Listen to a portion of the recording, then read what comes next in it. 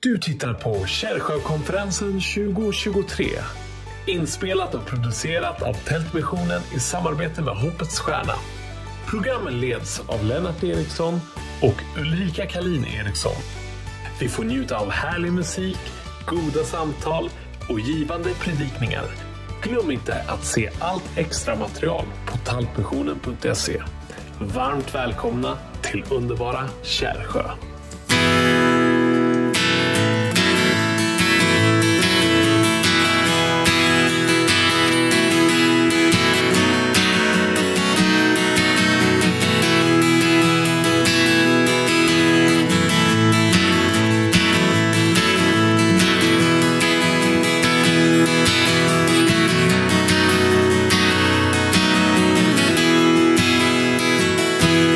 Jag kan aldrig, aldrig glömma när jag fick frid med Gud och blev klädd i högtidsskrud som en Jesu Kristi brud. När mitt hjärta renat blev ut i Jesu dyra blod och han gav mig liv, ja liv i övernord. Härligt och fri ifrån syndens slaveri. Nådens sol för mig upprann och jag vet att det är sant. Så vandrar jag i Tåredalen, friska källsprång pålar fram. Sorgens toner byts i jubel till Guds lamm. Jag har valt och följa Jesus på livets smala stig. Om en motgång möter mig, löftets stjärna slocknar ej. Snart ska jag få möta Jesus i härlighet och makt. Han ska hämta mig till himlen, det har han sagt. Ja, jag är härligt löst och fri ifrån syndens slaveri. Nådens sol för mig upprann och jag vet att det är sant. Så vandrar jag i Tåredalen, friska källsprång pålar fram. Sorgens toner byts i jubel till Guds lamm. Ja, det var härligt. Hey!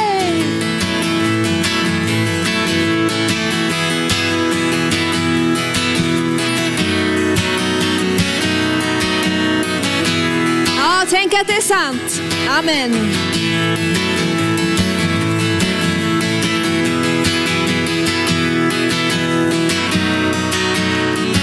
Ja, det var gott. Tänk vägen den går från stora höjder och den går ner i sorgens dal. Ifrån glädje och till kval. Men till sist i himlens sal, där ska bröllopsfesten firas. Och du får vara med. Vid den tanken blir jag fylld av salighet. Hör igen, för jag är härligt löst och fri ifrån syndens slaveri. Nådens sol för mig upprann och jag vet att det är sant. Så vandrar jag i Toredalen, gör han den till Kildevang. Sorgens toner byts i jubel till Guds lamm. Och en sista gång, för jag är härligt löst och fri, ja, visst, ifrån syndens slaveri. Nådens sol för dig upprann och jag vet, jag vet det är sant. Så vandrar jag i Tåredalen, friska källsprång pålar fram. Sorgens toner byts i jubel till Guds lamm. Jag vandrar jag i Tåredalen, friska källsprång pålar fram. Sorgens toner byts i jubel till Guds lamm. Ja.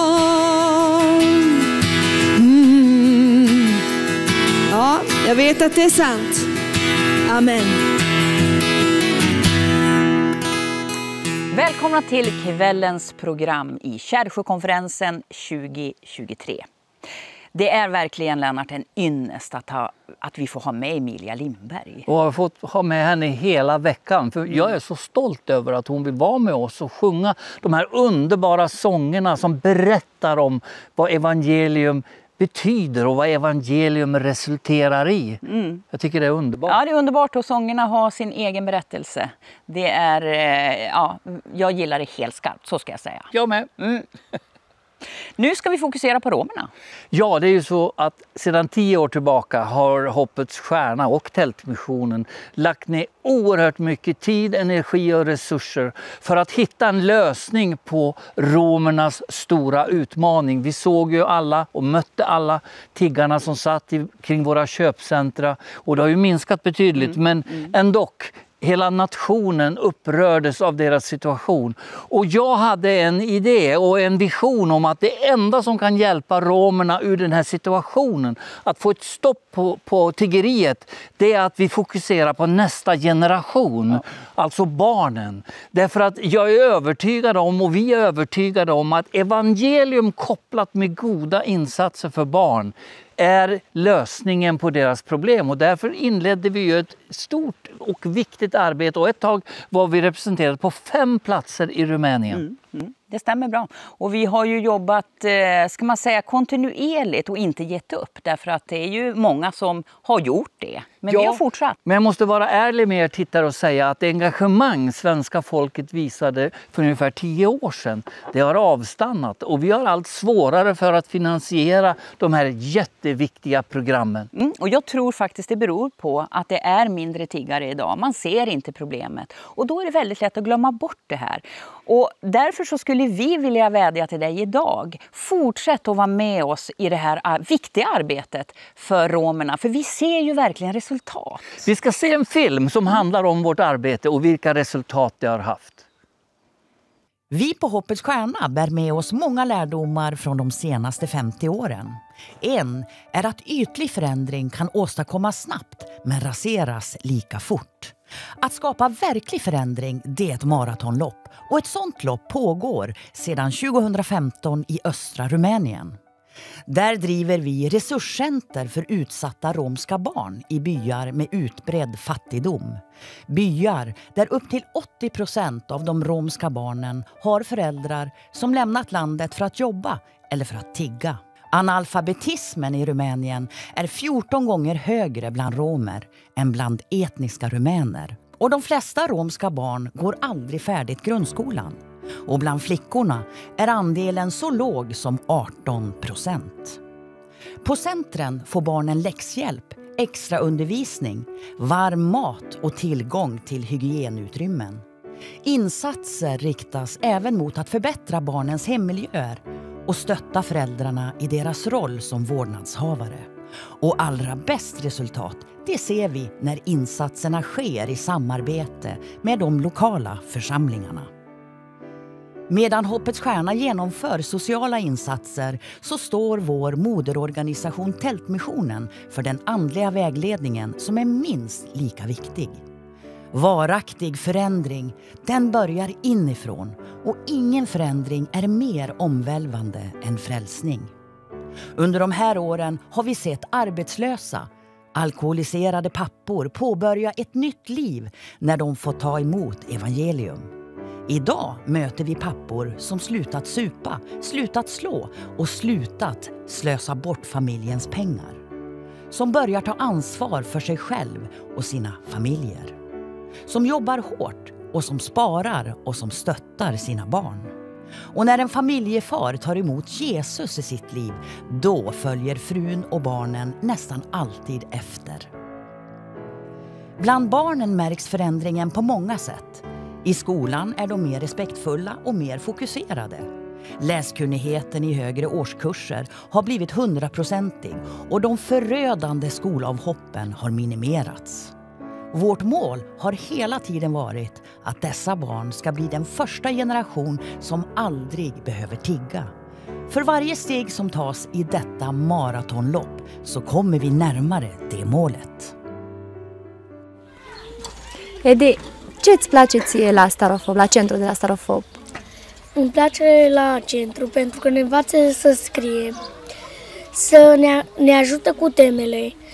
În, după ne, putem să ne jucăm. Și ne învață despre citire, despre scris. Dar dacă nu era ă, centrul ăsta, nu cred că mai aveam unde să ne facem temele, să mai învățăm despre prietenie, despre regulile igienii. Dar te-ai gândit așa ceva pentru viitorul tău? Ce vrei să devii totuși dacă treci de clasa 8 -a? Nu știu. M-am gândit ori între fotbalist, Așa. ori între me- uh, constructor.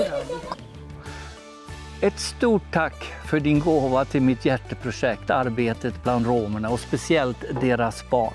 Men nu ska vi in i Kärrgården där Ulrika träffar pastor Maria Nordberg från Svedjeholmskyrkan i Örnsköldsvik och har ett mycket intressant samtal. Ja, då sitter jag här i anrika Kärrsjögården.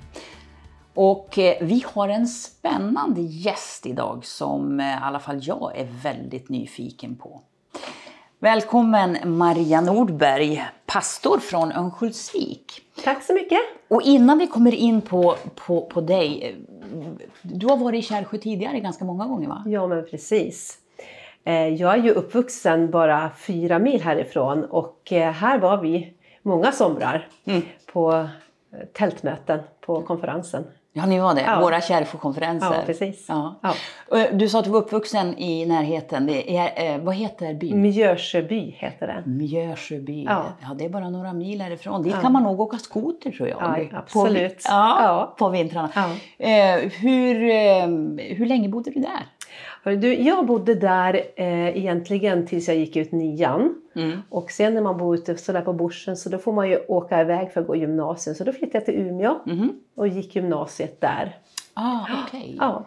Eh, men alltså under tiden, växte du upp på en, på en lantgård eller? Ja, det, vi kan väl säga att det var skogsbruk mera då. Eh, hela min släkt kom ju därifrån. Mm. hette Lundqvist på den tiden. Mm. Eh, och det är en stor släkt i, i Mjörsjöby. Då. Många, många Lundqvist finns det där. Och Mm. eh, min pappa och eh, min farbror då, de delade på hemmanet. Så pappa tog skogen, mera skog och han tog lantbruket. Mm, mm. Så, men vi var mycket där på landet och åkte hölass och så vidare. Mm. Så, så. Vad, vad saknar du mest från landsbygden? Och Eh, livet på landsbygden? Jag vet inte. Det, det, det är ju... eh, Jag, jag vet inte om jag saknar någonting egentligen. Det var härligt på allt sätt och mm, jättefin uppväxt, härliga vänner så. Jag skulle säga kanske de här, det här mm, att vänskapen man hade i byn kanske. eh, Den var ju så naturlig. Alla visste eh, om varann. Små klasser. Man kände fröken och frökens familj. Det var ju så va. Så, så det förstås var ju en väldig trygghet i det. Mm, mm. Men eh, när du åker tillbaka nu till Mjörsjöby och hälsar på, Mm. hur många är det kvar som känner dig och som du känner? Ja, alltså det är ju så att eh, nya generationer kommer ju. Sen är det ju eh, inte lika många som bor där nu som på den tiden då jag bodde där. Då var det mycket barnfamiljer och så. Men det finns ju några barnfamiljer där som bor där. Men visst är det så. Det är ju, det är ju inte lika många som förr. Mm. Eh, och mina föräldrar har ju också fått flytta hem till Herren så att eh, huset står kvar men min bror som rår om det huset då. Ja, det. Hur var det med din tro under den tiden? Hade du mött Jesus vid den tiden när du växte upp Mm, där? Precis. Ja, alltså eh, jag hade ju eh, den förmånen att få ha troende föräldrar och växte upp i ett varmt troende hem. Så eh, jag var med i EFS, Evangeliska Fosterlandsstiftelsen, hade ett kapell där och även då så fanns ett Sion-kapell. Så jag gick söndagsskola där och barnmöten på Sion. Mm. Så att det var, det var ju mycket, kyr, kyrkan var väldigt aktiv. Mm. Eh, så, och många troende, många kristna. Så det var så naturligt. Mm. Så, eh, så det fick jag med mig med, med barnsbenen. Mm. Sen, sen när man växte upp och så där så prövas man ju i sin tro. Och, och jag skulle väl egentligen säga i klass 8 så tog jag ett, ett beslut att det här är vägen för mig. Så jag blev utmanad utav en predikant som kom, en resande predikant som kom till, eh, till en gudstjänst. Och jag tror att efter mötet där så var det ett bönemöte. Så säger han till mig, eh, du Maria, och han var från Finland, kan du leda oss i bön? Och jag hade aldrig i mitt liv gjort det högt för någon annan. Så eh, där och då så bara tog jag emot till mig och började be. Och jag märkte att det bar. Mm. Och någonting bara liksom bröts i mitt liv av frimodighet. Att nej men det här, det här finns i mig. Jag tillhör Jesus. Mm. Så han fick vara liksom en hjälp på vägen. Att börja den här vandringen. Sen var det ju mycket utmaningar i ungdomstiden, tonårstiden så här. Men ändå så hade jag med mig det här. Eh, och det bar. Mm. Jag tänker vad människor kan betyda mycket. Ja. Jag tänker, man möter människor varje dag och man möter människor i olika situationer. Det Ja. kan ju faktiskt betyda en förändring i Ja, livet. ja, verkligen. Och jag brukar faktiskt predika om en, en tant i byn som heter Dagmar. Eh, nu fick jag ju, jag, menar, jag hade en fantastisk uppväxt på, på allt sätt men min tro prövades och eh, jag hade min syster och hennes make som gick bibelskola och de ringde hem till mig och sa, vet du Maria, det är så fantastiskt. Vi ber för sjuka. Vi, vi ser människor bli befriade och jag hade aldrig i mitt liv hört om det men jag hade läst om det i Bibeln. Och det var någonting utav en längtan som kom i mig att vilja ha mer av Gud. Och sen så pekade också Gud på det här med dopet. Eh, Och det här var, var inte så lätt alla gånger i och med att det var mycket kyrkopolitik i byn. Men jag kände en sån övertygelse att det här är min väg att gå. Eh, Och då hade vi en eh, granne som bodde uppe på backen. Och hon var en gammal evangelist. Och det märkliga var att Herren hade lagt mig på hennes hjärta. Och som barn och som familj så höll vi på och, och sporta väldigt mycket. Det var, liksom, jag brukar säga, det var mitt förra liv. Vi sprang på somrarna, eh, vi, vi åkte skidor på vintrarna och eh, det var liksom det livet som jag växte upp i. Eh, så då. Eh, och eh, tant Dagmar, hon såg någonting annat i mig. Så hon har berättat så här i efteråt att när hon tittade ut genom sitt köksfönster så såg hon på morgonen min pappa kom ut med skidorna, min bror kom ut, min syster kom ut och så bara ställde hon sig i fönstret och ropade Gud, Gud, inte Maria, inte Maria. Utan eh, hon såg någonting annat som inte jag såg. Eh, och sen så, ja men i det här så, så fick hon vara ett stöd för mig. Eh, och hon bad för mig mycket och hon hjälpte mig liksom också i det här eh, valet att också gå dopets väg. Eh, och eh, hon... Eh, eh, ja, I det här så vet jag att jag åkte till USA. Jag var där och jobbade som barnflicka. Och jag tänkte att nu ska jag berätta det för tant Dagmar och undra vad hon säger. Och hennes reaktion var Halleluja! Åh, nu ska du ut och träna din missionskallelse. Det var det liksom det hon såg. Det såg ju inte jag. Utan jag såg det mer som en resa, att skulle ut och, och, och se lite mera utav världen. Men hon var liksom så övertygad. Och hon hade ju rätt. Jag hade en kallelse på mitt liv att, att jobba i kyrkan och att jobba för Guds rike. Så konkret liksom. Ja. Men när bestämde du dig då för att bli pastor? Hörru du, ja, alltså på något sätt så har jag väl vuxit in i det. För att eh, när jag då var, ja vad kan jag ha varit, 20-21 år, så gick jag på bibelskola i Uppsala.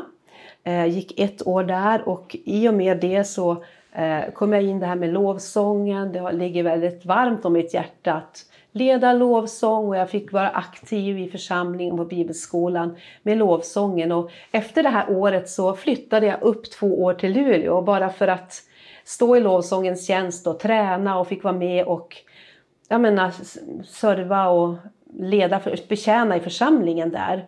Och efter två år så gick jag ett andra år på bibelskolan. Och eh, under det året också så, så träffade jag ju Thomas, eh, min make då, och eh, efter det året så gifte vi oss. Och eh, efter det så blev jag kopplad liksom med honom och den mission och vision han hade för Finland. Så efter ett år när vi hade bott i Uppsala så flyttade vi, vi blev utsända ifrån Livets Ord i Uppsala då, den bibelskola som vi gick och den församling som vi var i då, Då blev vi utsända till Finland tillsammans med en, ja, typ 13, 14, 15 stycken andra. Och tillsammans med ett annat pastorspar.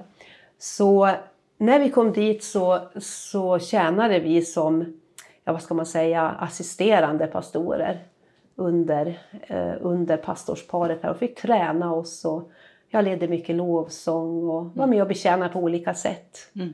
Hur mycket betydde det för, för er som par, men också som i den gärning ni sedan gick in i? Ja men alltså den här tiden var ju, vill jag ju absolut inte vara utan. Mm. Därför att eh, det är något gudomligt med att stå under någon annan. Att se, att lära och vara under det beskyddet. Man är inte ytterst ansvarig men man får ändå träna sig. För vi var ju ändå väldigt unga. På, vad kunde vi vara? 23, 24, 25? Mm. Nej, vi var lite äldre efter vi hade gift oss. Vi var väl kanske 27, mm. 28 någonting där. Eh, så att det var en enorm eh, nyttig och bra tid. Och vi var ju där, vi, vi tjänade ju där ungefär, ja sammanlagt blev det tio år men vi bodde i Finland i åtta år då. Eh, och eh, ja men fick vara med och undervisa på den bibelskola vi startade där och vi reste runt i landet, hade möten och kampanjer och byggde församling där, startade församling, byggde församling. Mm. Så det var en fantastisk tid. Mm. Och under den här tiden så föddes också fyra av våra barn så du vet att det var, det var mycket som hände då. Ja. Lärde du finska? Eh, alltså det beror på vem du frågar. alltså innan jag flyttade till Finland så läste jag finska. Mm. och sen så ehm, eh, vi spelade in många skivor på finska, bara finska och det var en finsk församling. Så att jag lärde mig så att jag kunde förstå och jag kunde prata med människor. Men, men att eh, jag förstår ju idag all finska men eh, det finns ju där bak mm. idag. Men eh, då så använde jag mig av finskan, ja. Det mm. gjorde jag. Wow. Ja. Det är ganska coolt för det är ju inte, är inte vilket språk nej, som helst. Nej, exakt. Nej. nej. Nu är du ju gift, du berättade om Thomas att ni träffades och gifte er i Uppsala och han är också pastor mm. i er församling, i den mm. kyrka du tillhör i mm. Örnsköldsvik. Eh, en av de större, kanske den största till och med. Hur känns det att få vara pastor tillsammans med sin make? Mm, ja men det är fantastiskt. Vi säger det många gånger att det är, det är så fint att få stå tillsammans. Eh, och eh, eh, vi, vi håller just Just nu är vi inne i ett struktur och kulturarbete i församlingen och vi, vi vill se många som kommer in och, och, och betjäna på många områden. Och, och eh, verkligen liksom försöker få en bra struktur. Och eh, det är ju ing, alltså Thomas är ju föreståndare, han är ytterst ansvarig. Men vi leder ju tillsammans mm. och jag är en, en, pastor, vi har ju fler pastorer också. Eh, och, eh, så, så, där tycker jag att det är väldigt viktigt att han ändå är ytterst ansvarig. För mig är det det. Mm. Men att vi, vi, vi har liksom olika styrkor mm. som vi kan liksom Eh, tillsammans tjäna. Och eh, allt eftersom vi har tjänat så känner vi ju varandra och, och det är vissa saker som man per automatik gör för att det ligger en varmare om hjärtat eller att mm. man har gåvor så att säga. Så att mm. jag tänker att, att även då att möta kvinnor är ju oerhört viktigt. Eh, och eh, jag har väldigt varmt på mitt hjärta just att lyfta kvinnor och att se tjejerna vi, vi brukar ha något som heter Hennes konferens bara för att lyfta och tala tro till de unga tjejerna, till äldre mm. och bara se potentialen och, och, verkligen, för så var ju Jesus. Mm. Mm. Han lyfte ju kvinnorna, mm. verkligen. Ja. ja.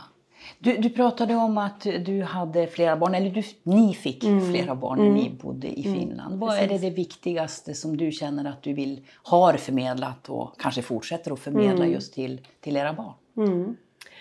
Ja, eh, förstås ett svar från en pastor borde ju vara tron och det är det ju förstås. Det är ju det, eh, det är ju, vi, vi är ju evighetsvarelser och det är så viktigt att vi alla tar det här beslutet när vi är i vår jordevandring för att få, få ett evigt liv i himlen. Mm. Så det är ju absolut det viktigaste att, att, att ge ett, eh, gett möjligheten att få ta det här beslutet, att visa på vägen. Det är absolut det viktiga, viktigaste. Mm. Eh, och, eh, men sen så när man också jobbar i kyrka och vi är mycket i församlingen och så här så har det varit väldigt viktigt också med, med att verkligen få dem att leva normala liv. Förstår du? Att vi har försökt alltid att vara aktiva. Aktiva i fotbollslag, ishockeylag, liksom de här tjejerna har ridit. Att man liksom ändå på något sätt har ett liv också utanför kyrkan. Eh, för att eh, allt för många pastorsbarn vänder ju Gud ryggen. Mm. Eh, om, man, om man ser liksom his, historiskt bakåt mm. så är det lätt att det blir för mycket. Mm. Och, och, det är inte lätt det här med, med den här balansen. Men, men vi, vi, har liksom bott på en bondgård, liksom att få ha nära liksom till naturen, nära att köra skoter, nära att ja, vi har haft hästar. Och mm. liksom hitta den här rytmen i livet, det har varit viktigt. Mm. Eh, så att det inte bara har varit så här smalt allting. Och, och ändå på något sätt att de måste ju komma till den punkten att de själva mm. måste liksom, eller behöver ju ta beslutet att, mm. att gå med Gud. För det mm. kan vi inte göra till våra barn. Nej, det går inte även om man skulle vilja. Ja, eller hur. Ja, så ja. går det inte. Nej barn och eh, skola. Jag vet att du är engagerad, väldigt engagerad i, i skolans värld. Du är ordförande i Broskolan. Ja. Jag tänkte berätta lite om, om det. Mm. Hur kom det sig att det blev en broskola och att ja. just du sitter där? Ja, men eller hur. Mm. Eh, ja, det kan man ju fråga sig. Men Eh, när vi kom flyttande, det var eh, 1998 flyttade vi till Örnsköldsvik. Och när vi kom till eh, församlingen då, som hette Tronssköld på den tiden. Mm. Eh, då så fanns det en grupp utav människor som, eh, som brann för det här, som ville se en kristen skola i Örnsköldsviks kommun. Eh, och de var så på, det var en arbetsgrupp som hade förberett och de, de bara väntade på att vi skulle flytta mm. dit och att vi kunde sätta igång. Så att vi drog faktiskt i handbromsen där och sa att vi är inte redo att starta upp skolan på en gång mm. utan vi behöver få landa, få lära känna församlingen mm. och att, att vi liksom väntar ett tag. Eh, så det var ju härligt för det, det, det fanns där eh, en levande vision för det. Ja. Eh, och i vår rörelse, i vår kyrkofamilj så har vi mycket av vårt DNA, så finns det mycket kristna skolor mm. eh, runt om i Sverige.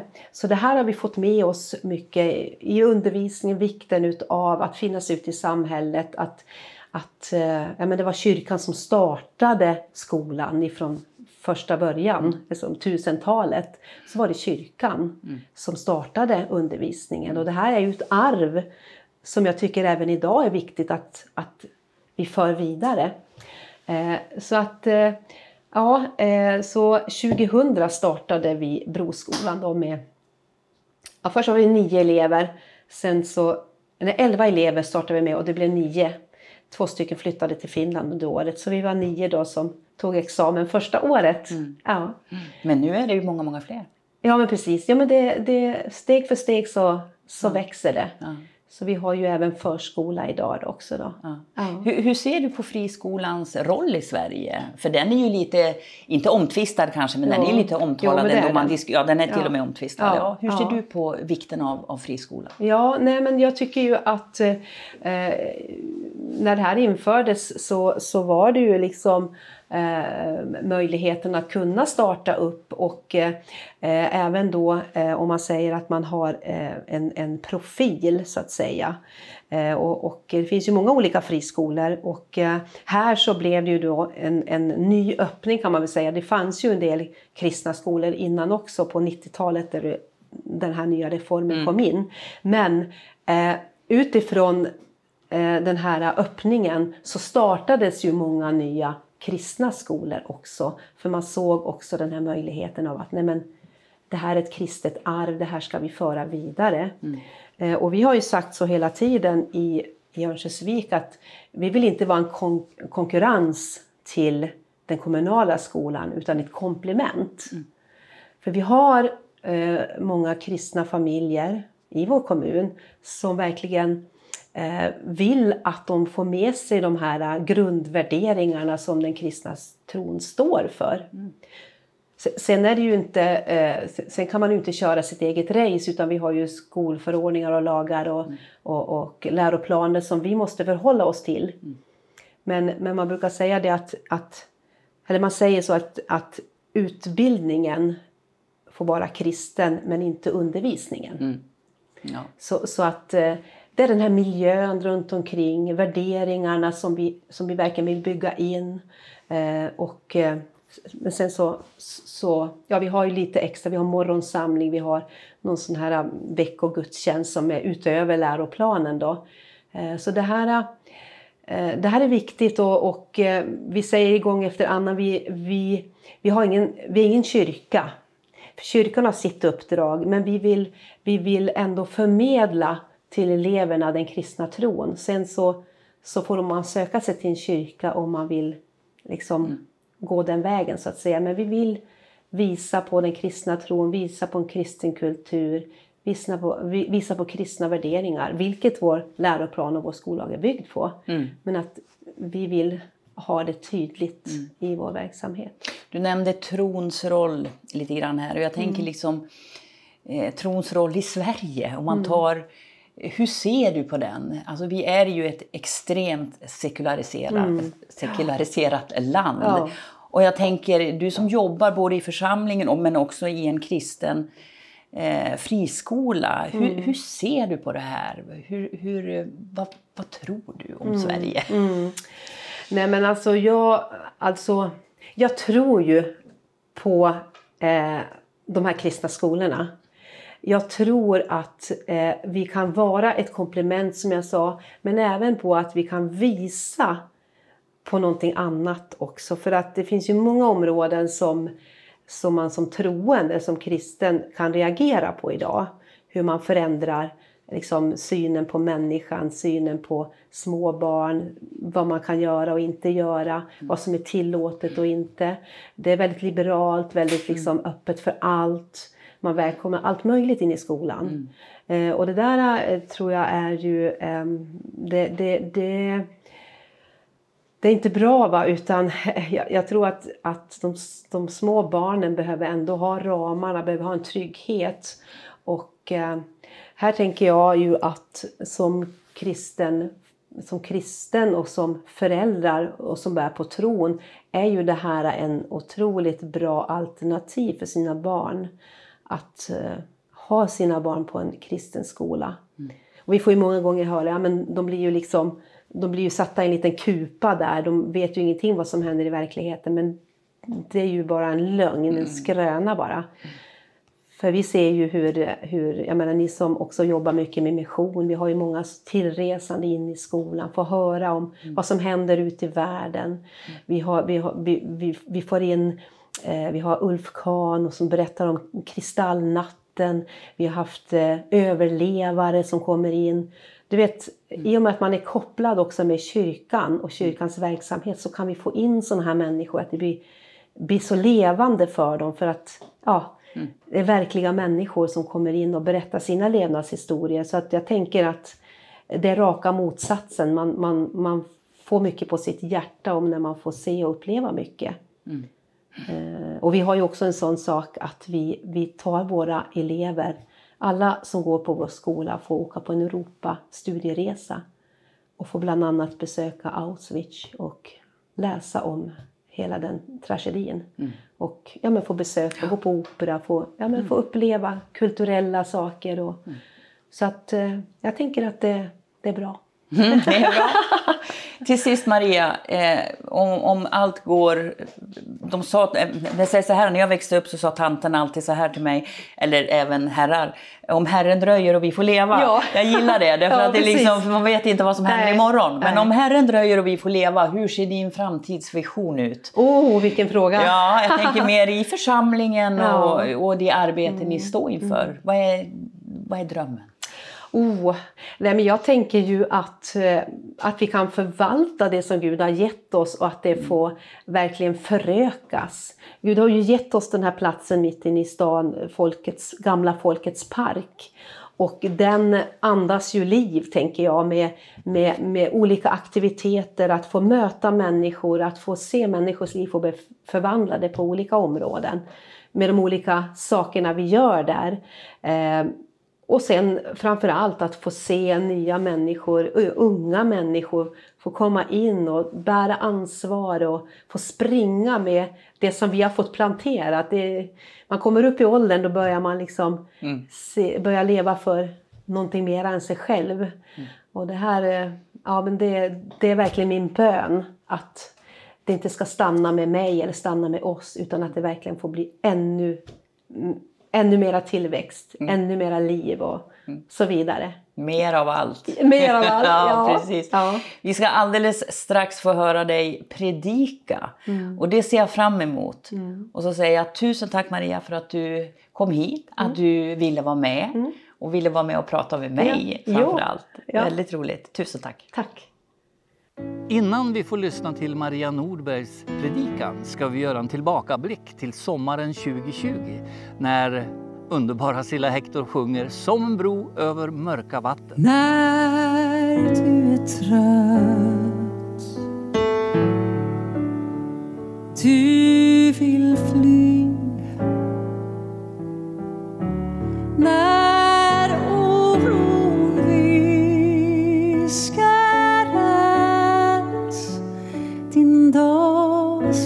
aldrig gry. Men jag finns hos dig.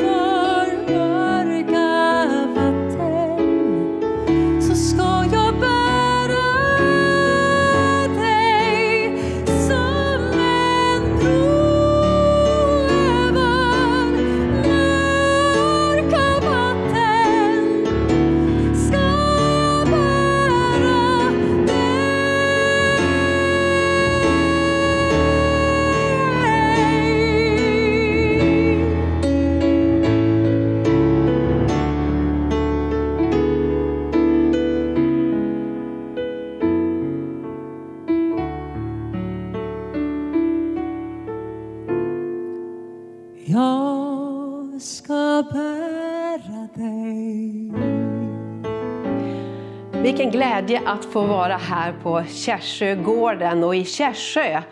Eh, och som du hörde också i den här intervjun som Ulrika och jag hade innan så har jag mina rötter härifrån. Inte direkt från Kärsö men ifrån Mjörsjöby. Och jag kommer ihåg speciellt en sommar då jag och mina kompisar vi cyklade för att vara med på tältmötena här ute på backen.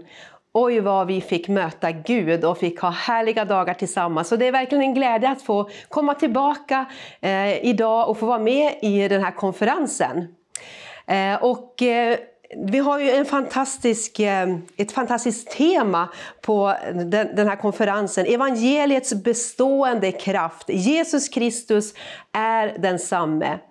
Eh, och eh, jag kommer i min lilla predikan här, skulle vilja bara skicka med dig en liten verktygslåda. Kanske nu när du har semester, eller där du är på ditt arbete. Men överlag så tänker jag att det är någonting som vi kan bära med oss varje dag i våra liv. För evangeliet är Guds kraft till frälsning, till befrielse, till liv och till förvandling i våra liv. Och det har jag själv fått möta i mitt eget liv. Eh, och jag tänkte faktiskt att vi ska gå till ett välkänt bibelord för dig som är van att läsa Guds ord. Eh, och jag vill ta dig till Efesebrevet kapitel 6 från vers 10 till vers 18. Och där står det så här, så tänker jag läsa i åtta verser här, så bara häng med. Till sist, bli starka i Herren och i hans väldiga kraft. Ta på er hela Guds vapenrustning så att ni kan stå emot djävulens listiga angrepp. För vi kämpar inte mot kött och blod utan mot förstarna, mot makterna, mot världshärskarna här i mörkret och mot ondskans andemakter i himlarymderna. Ta därför på er hela Guds vapenrustning så att ni kan stå emot på den onda dagen och stå upprätt när ni har fullgjort allt. Stå alltså fasta med sanningen som bälte runt höfterna och klädda i rättfärdighetens pansar. Bär som skor på era fötter den beredskap som fridens evangelium ger. Ta dessutom trons sköld, med den kan ni släcka den ondes alla brinnande pilar. Ta emot frälsningens hjälm och Andens svärd som är Guds ord. Gör detta under ständig bön och åkallan och be alltid i Anden. Var därför vakna och håll ut i bön för alla det heliga. Amen, så stannar vi där. Ja, här så uppmanar Paulus att bli allt starkare i Herren. Bli starka i Herren. Och eh, vi försöker många gånger i vår egen kraft att attackera vår fiende. Eller att med vår egen vilja och vår egen ambition så vill vi gå emot mörkret. För det är ju så att, precis som vi läste här, att du och jag, vi människor, vi lever i den här världen. Och vare sig vi vill det eller inte så är det en fight över våra liv. Eh, både för oss som troende och vi vet ju många gånger att det finns en andevärld. Det finns någonting gott och det finns någonting mörkt, någonting ont. Och det här tror jag också många också som inte är troende, som också har en vetskap att det finns onda krafter och det finns goda krafter. Eh, och här så skriver Paulus när han är i sitt fängelse i Rom. Han var ju där fängslad i två år och eh, utav det här så tror jag han fick den här bilden utav en soldat. Eh, och han uppmuntrar församlingen i Efesus att bli starka i Herren. Inte i er egen kraft, men i Herrens kraft så kan ni bli starkare. Och här finns det vapen som Gud har gett er och Gud har gett oss idag. Att vi får ikläda oss ordet, ikläda oss kraften ifrån Gud, ikläda oss bönens möjligheter. Och jag tycker att det här är en så fantastisk bild som han ger. Eh, det säger så här, ta på er, alltså klä er i Guds vapenrustning, inte i vår egen kraft, utan Gud har en rustning för dig och för mig som passar oss perfekt. Och den här rustningen, säger han, den ska ni bära så att ni kan stå emot. Alltså att ni får kraft att stå emot på den onda dagen. Att stå emot, det står djävulens listiga angrepp. Och det här ordet listig i grundtexten säger metodeja. Och det säger att fienden, han har sina metoder. Han har listiga planer. Han har strategier för att få dig och mig på fall. Eh, och många gånger så kommer fienden i våra tankar, i våra känslor. Han slänger på oss hopplöshet. Han slår oss i våra svagheter och vill få oss på fall. Det är inte så att fienden kommer alla gånger som ett spöke och säger buh! Utan han kommer med tankar, han kommer med, med, med förvirring, han kommer med, med, med svaghet och, och försöker på allt sätt att, eh, att eh, attackera oss. Eh, och eh, det står så här att vi kämpar inte mot kött och blod. Utan sen så räknar han upp eh, alla de här hierarkierna utav furstar och makter och världshärskare som finns. Och sen så säger han stå fasta. Stå fasta. Alltså behåll fältet. Även när jobbiga dagar kommer så behöver vi stå fasta. Och hur gör vi det här? Ja, här räknar han alltså upp hela rustningen som han kanske ser framför sig, en soldat som står och vaktar honom där i, i fängelset. Eh, och eh, där så säger han att ni har fått en andlig rustning så att ni kan stå fasta, så att ni kan stå starka och bli starkare och kan möta eh, livets olika omständigheter. Och precis som det här temat är, Jesus Kristus är densamme igår, idag och i all evighet. Men jag skulle vilja också säga att fienden Själafienden, djävulen, är också densamme, igår, idag och i all evighet. Han är lögnens fader. Och vi behöver bli varse om att det finns en själafiende som vill stjäla vår kraft, stjäla vår glädje. Eh, och därför så ger han de här eh, verktygen till oss. Först säger han så här. Ta sanningen som bälte runt era höfter. Eh, och i den här rustningen så var det bältet, bältet av sanning, som höll upp hela rustningen. Om man inte drog upp drog åt bältet så satt rustningen lite sned och den, den, den skramlade. Så därför var det så viktigt att verkligen dra åt bältet för att rustningen skulle sitta på plats. Och jag tänker det också att det är så viktigt att vi ikläder oss sanningen. Att vi tar reda på sanningen, lär oss sanningen. Och vad är sanning? Ja, det står att Jesus är sanningen. Jag är vägen, jag är sanningen, jag är livet. Så när vi lär känna Jesus så lär vi också känna sanningen om vem han är, men också vilka vi själva är. Så sanningen behöver vi ikläda oss för att kunna eh, fightas, för att kunna stå på våra rättigheter. Sen fortsätter han, kläd er i rättfärdighetens pansar. Och det här handlar ju om rättfärdigheten som Jesus har gett oss. Inte vår egen rättfärdighet, vilket vi så många gånger tänker.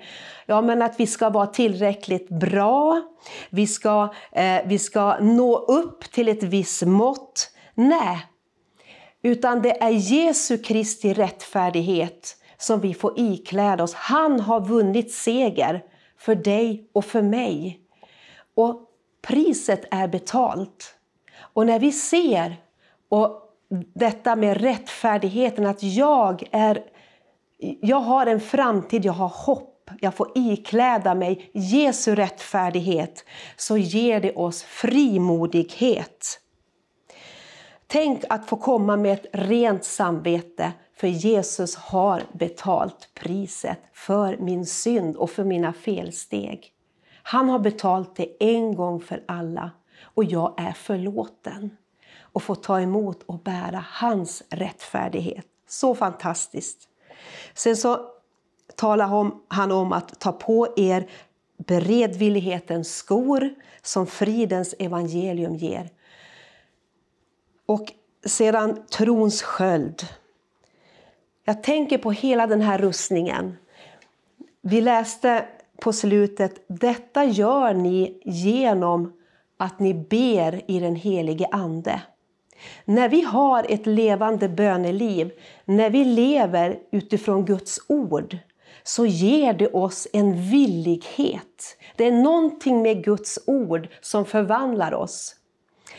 Eh, säkert du som lyssnar har bett till Gud. Om inte så kanske du från den här stunden och från den här gudstjänsten vill börja be till Gud. Vi har många böneämnen, vi har mycket behov i våra liv. Och det är fantastiskt att vi har en bönhörande Gud.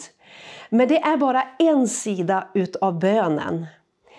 När vi ber så förvandlar Gud omständigheter. Men jag skulle också vilja säga att när vi ber så blir bedjaren själv förvandlad.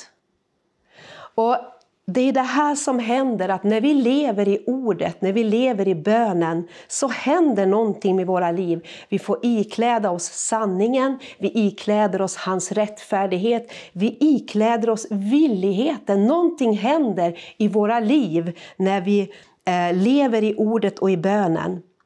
Sen så står det också om trons sköld som utsläcker Satans alla brinnande pilar. Och jag har ju, du tänker kanske att jag är eh, expert på det här med att, eh, att, att veta hur en soldats rustning fungerar, men jag har ju förstås läst på det här. Och när jag läste om, om de här soldaterna som romarna hade, så står det att de hade sköldar som var en meter höga och en halv meter bred. Och på de här sköldarna så fanns det en signet, det fanns ett namn på vilken legion man tillhörde. Och de här eh, sköldarna var så stora så att man kunde gömma sig bakom de här sköldarna. Och någonting som var ännu mer fascinerande det var att när man var ute i strid så satte man ihop sina sköldar. Och bakom de här sköldarna så kunde soldaterna tillsammans gömma sig ifrån fienden. Och jag tänker att det här är en fantastisk bild. Trons sköld. Tron på Gud är en sköld emot fienden. Det står att var och en av oss har fått ett visst mått utav tro. I Romarbrevet 12 och 3. Tron kommer utav predikan, men predikan i kraft utav Kristi ord. Så när vi är i Guds ord så föds tron i våra liv och det är som en sköld emot fienden. Vi, vi, väljer att tro på Gud, vi väljer att tro på hans löften före omständigheterna. Och precis som de här soldaterna fick sätta upp skölden och där bakom kunde de vara i lugn och ro emot fienden. Och det är det här vad, som, vad tron gör i våra liv. Psaltaren 7 och 11 säger Min sköld är hos Gud. Han frälser dem som har ärliga hjärtan. Sen så säger Paulus, ta emot frälsningens hjälm. Och Det här handlar om beskyddet över våra sinnen, att dra ner hjälmen, att dra ner beskyddet över våra tankar. Och att vi speglar oss i Guds ord och tänker Guds tankar. Att vi, när vi läser Guds ord så ser vi att hans tankar om oss är framtid och det är hopp. Och det här behöver vi ständigt spegla oss i varje dag. Inte bara en gång i veckan, utan varje dag behöver vi spegla oss i Guds ord. Så att hans tankar, som är högre än våra tankar, hans tankar som är större än våra tankar, får bli våra tankar. Och Det här är så fantastiskt. När vi lever i ordet, när vi lever i bönen, så blir våra tankar befruktade utav Guds tankar. För hans tankar är högre och större än våra tankar. Och han tror på oss, han tror på dig. Han har en fantastisk framtid för dig. Så låt dig bara få impregneras utav hans ord så att hans tankar får börja cirkulera i dina tankar. För det står också i skriften att sådan eh, vi tänker om oss själva, sådana är vi. Så det är så viktigt att vi får dra ner frälsningens hjälm och tänka Guds tankar, både om oss själva, om oss andra och om där, du, där Gud har satt dig. Att tänka Guds tankar, tankar av hopp och tro i olika situationer. För han har en väg, han är vägen där det inte finns en väg. Amen. Jesus är vägen, sanningen och livet.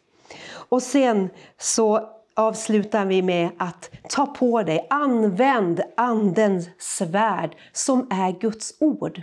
Och här vill jag uppmuntra dig nu under sommaren, men varje dag i din vardag, ta ett ord, ät ett ord. Det står att Jesus är det levande brödet. Att ordet är som ett bröd att äta sig mätt utav. Vi behöver vara hungriga efter Gud, vi behöver äta hans ord. Och när vi äter, när vi mediterar på hans ord, så eh, blir det ett med oss. Och Det här ordet handlar om ett rema-ord. Använd ett, uppenbar, ett uppenbarat ord som Gud har för dig, kanske en speciell situation som du står i. Kanske står du i tro för en förvandlad och förändrad situation. Sök i Guds ord. Be den helige Ande ge dig ett ord för den specifika situationen. Tala ut det ordet, för det ordet är som ett svärd. Och det skär igenom och det förändrar situationer. Amen. Kommer du ihåg när Jesus blev frestad i öknen? Hur svarade han när han mötte fienden? Det står skrivet. Gång efter annan talar han ut skriftens ord. Det står skrivet. Och jag vill bara skicka med dig också det i din verktygslåda. Ta Guds ord, be den helige Ande uppenbara sitt ord för dig. Att det blir liv på insidan och använd det ordet, använd svärdet i olika omständigheter och du kommer att se att berg kommer att kasta sig i havet, situationer kommer att förändras för Gud är densamme.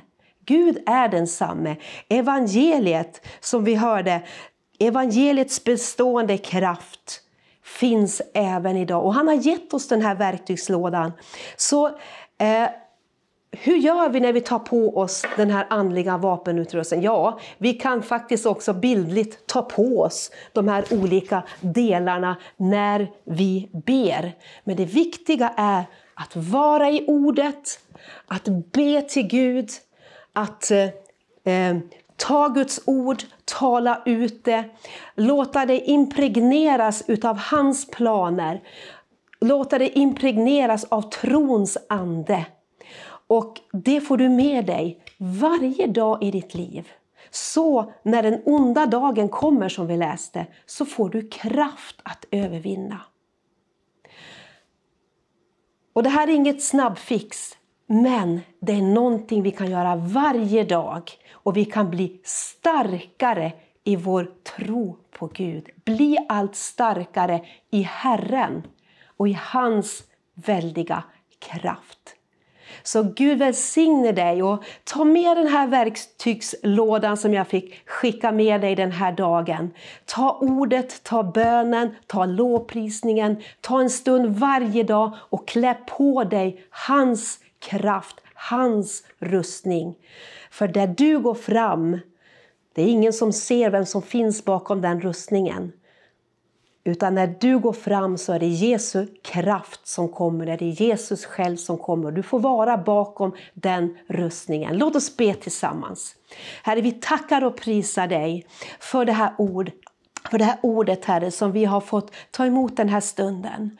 Herre, jag bara ber för mina vänner som lyssnar också här på via webben och var de än befinner sig, om de är på badstranden eller om de är hemma eller var de än är. Herre, jag bara ber om en hunger. Jag ber Fader om en hunger efter att läsa ditt ord, att ta tid i ordet och bönens tjänst. Herre, vi vet att det är en andlig fight, men Herre, du har gett oss verktygen, du har gett oss kraften att kunna möta olika specifika situationer i vårt vardagsliv. Och jag tackar dig Herre att kampen är inte mot kött och blod utan en andlig fight för att stjäla glädjen, stjäla kraften, stjäla tron i våra liv. Men Herre, du har gett oss kraften i evangeliet och jag tackar dig Herre för att jag bara får be ut det över mina lyssnare den här dagen.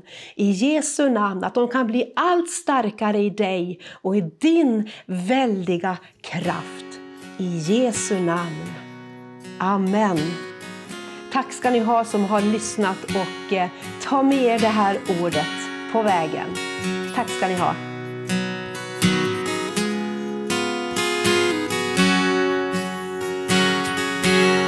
Så gott att vara i Herrens omsorg och veta alltid han är mig när.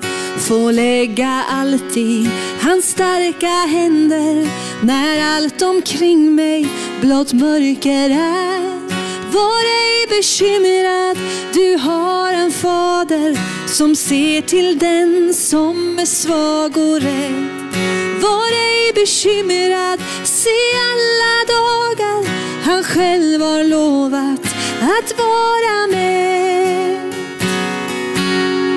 En trofast bror går ju vid din sida en herde god för sitt barn han är.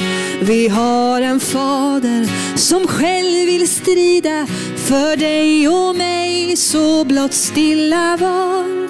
Var ej bekymrad, du har en fader som ser till den som är svag och rädd. Var ej bekymrad, se alla dagar han själv har lovat att vara med.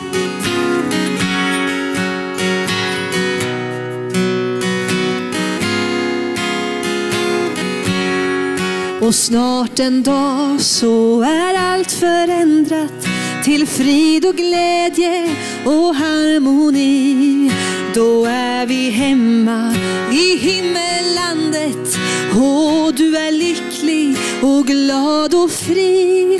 Då ska vi tacka för alla stunder han omsorg hade för dig och mig. Vi hemma är och tänk vilket under han har bevarat oss på vår väg. Så var ej bekymrad, du har en fader. Han ser till den som är svag och rädd.